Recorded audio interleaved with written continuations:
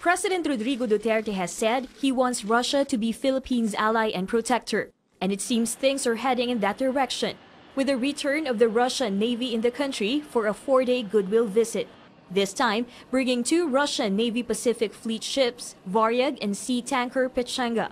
This guided missile cruiser is the second Russian Navy ship to visit the country this year. It's heavily armed with 16 anti-ship missiles and advanced radar system.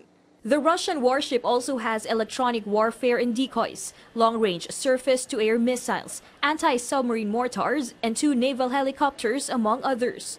Another Russian anti-submarine destroyer earlier anchored at Manila's South Harbor in January, signaling the warming of relations between the two countries. To all our Philippine friends and partners, I'm assuring you that we will do everything uh, to uh, make this port call a significant contribution to the strengthening of our friend, uh, friendship uh, and cooperation between our two nations in the interest of security and stability in the region. The Philippine Navy, meanwhile, is optimistic the visit will help them gain more knowledge when it comes to operating modern equipment. This is a training opportunity for us and uh, we can view the advanced uh, equipment of the Russian Navy uh, in line with our modernization effort. During the Goodwill visit, the Russian Navy will also attend the Russian Cultural Show in Luneta with Goodwill Games and a boodle fight. There will also be a shipboard tour open for civilians on Saturday.